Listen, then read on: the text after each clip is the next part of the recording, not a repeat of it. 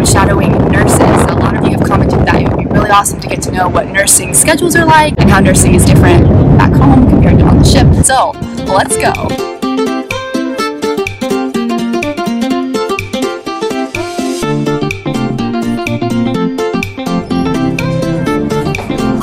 We're in the hospital now. This is Gina. Hi. Tell everyone about yourself a little bit. Hello, hello. My name's Gina. I am a ward nurse here on the Africa Mercy. I am originally from Chicago in the United States, working as a pediatric travel nurse there, and this is my first time serving on the ship. Yes. So, as I was saying, due to kind of a popular demand for wanting to know what nursing is like on the Africa Mercy, Gina has agreed to let me kind of shadow her and follow her around and ask her questions about nursing. And just a reminder, we can't film in the actual wards for patient confidentiality reasons. Right, right, right. But we'll get an idea just by walking around the hospital, talking to the lovely Gina, and that means first starting with getting ready for the day. Let's head to the scrub room and we'll see you there.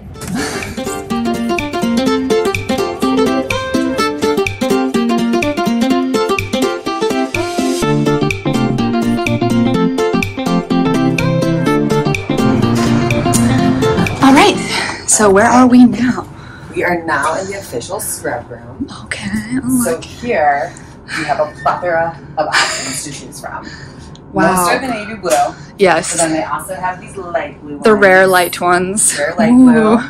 And then these are funky scrubs. Fun. They're a little in short supply today because everybody's wearing them. Mm-hmm. But you can sneak in earlier during the week and kind of hoard them if you have a favorite scrub top. Um, I've yet to find my favorite yet, but I will probably do that in the future. Nice. Does anyone bring their own, or do you need to wear these? You can bring your own pants, but they want you to wear the top that has Mercy ships on it. Okay. And then you also can wear these shoes Oh. too on the ward, which are nice because they're plastic, so you can wipe them down if you Mhm. don't want to wear your own shoes. A lot of people wear their own gym shoes, but they do have this option here. Well, perfect. So here we go, and you have a Little changing A little area. changing area.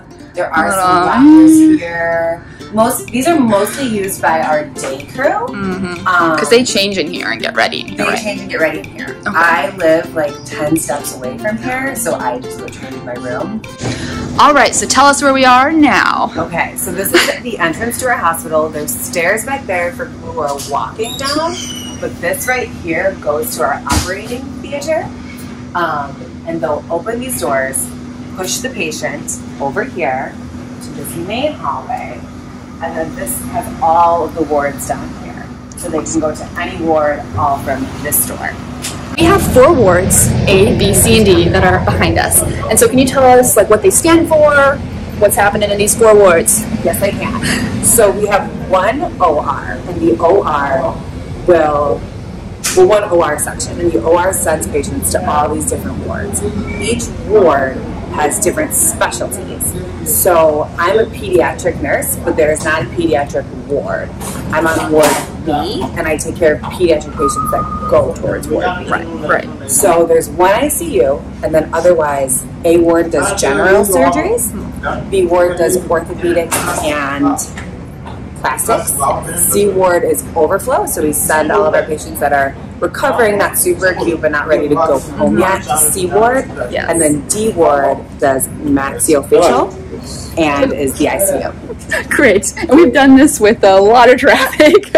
It's busy, it's busy down here. That's something that definitely happens. There's people all over the place. Yes, that and that's something to be aware of.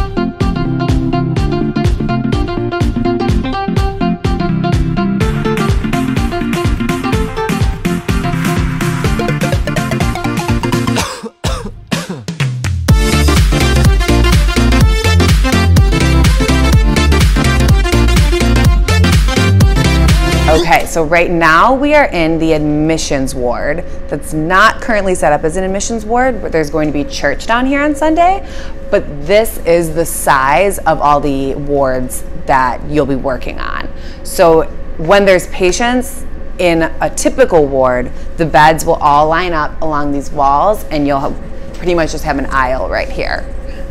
And then this is an Omnicell. I've worked with these at home in America, but I know that there's been a, few people that have never worked with these before. They're super cool. They have all of your supplies in here and then also some medications. We keep a lot of medications not locked in different cabinets that we use frequently, but ones that we don't use as frequently are in here. And it's all electronic. So you get a fingerprint and then you type in the specialty or the patient and you pull from there. They're really cool. You can like type in what you're looking for and it's kind of like a game. It'll the whole thing will light up and then one will light up, then one row and then the exact one. So it's really easy to find stuff. It's really awesome. And then it sends to medical supply every time you take something so they know when they need to refill it.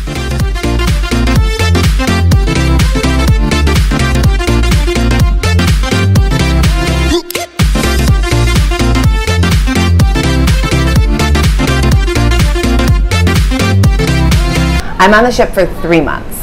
The minimum is two months for a first time server, and the, there really is no maximum. You can pretty much come and stay as long as you'd like. Are there any special requirements that uh, nurses on the nurses on the ship have to have when you apply? You do have to have, I want to say, two years of experience prior to your time of service. So you can apply at about a year and a half, but, and as long as you have the two years by the time you'll be on the boat.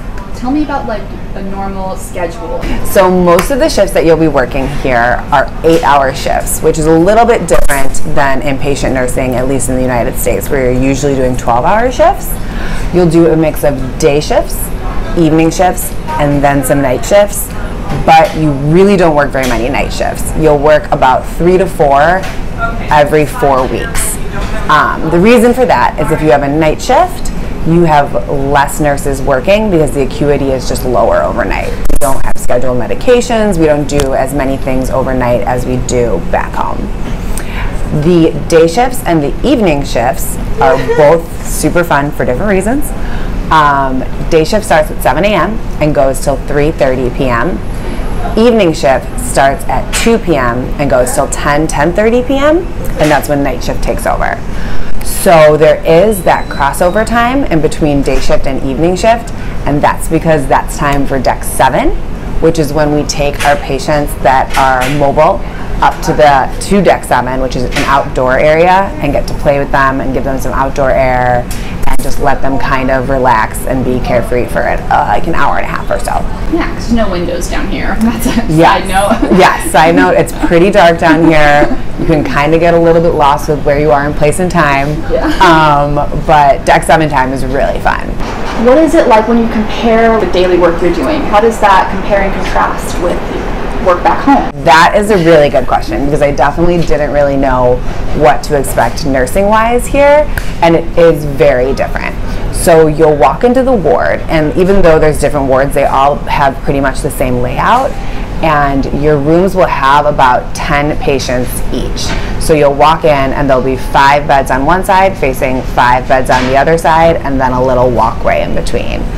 So that alone is very different, having patients not have as much privacy as we're used to at home, which at first may seem like a disadvantage, but I think actually works as a very large advantage for these patients because they really become a community, which is so unusually amazing in comparison to the way that we work at home.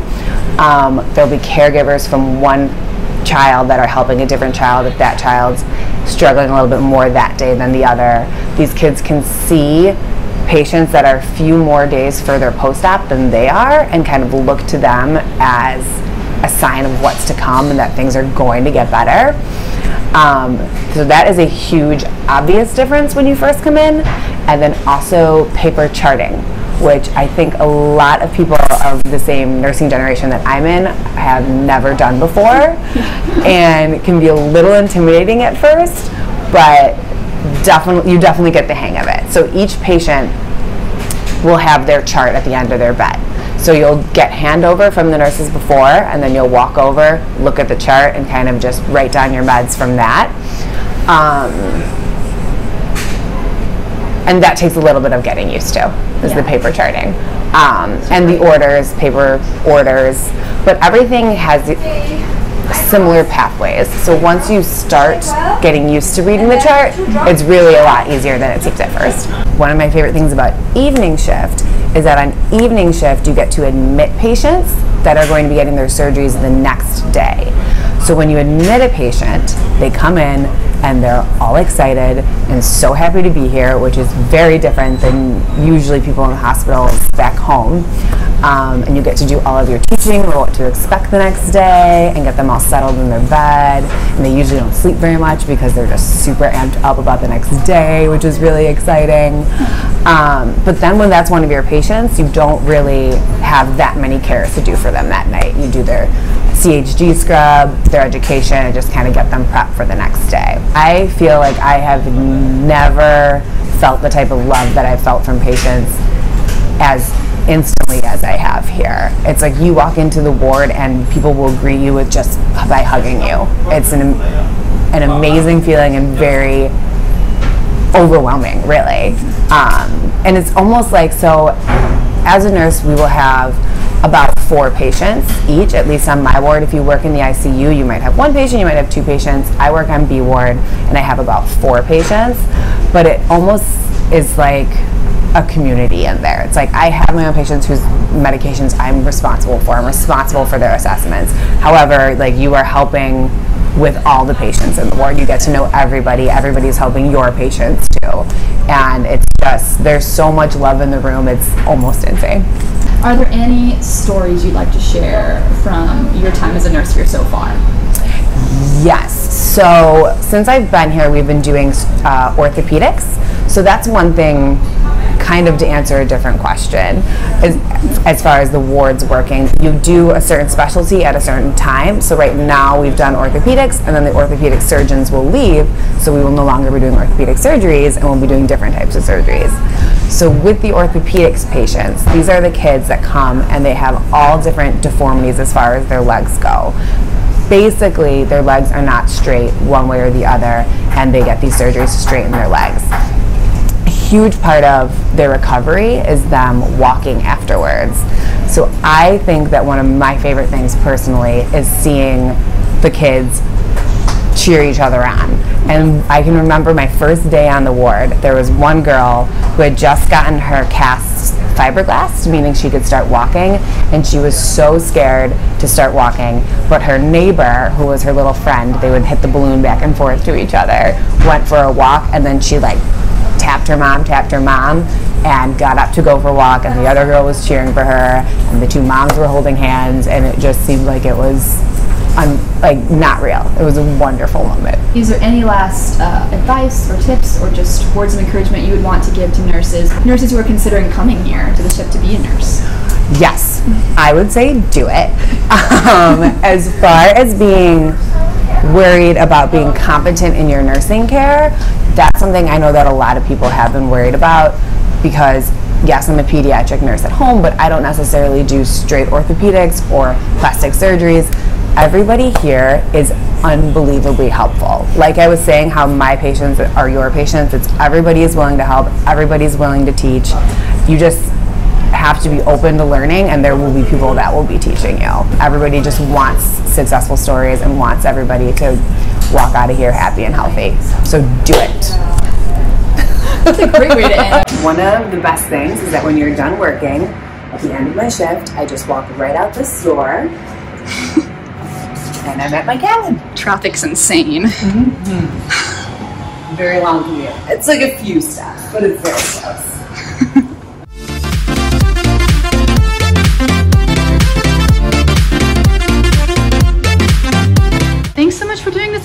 Us. Of course, hope to see you on the ship. Bye.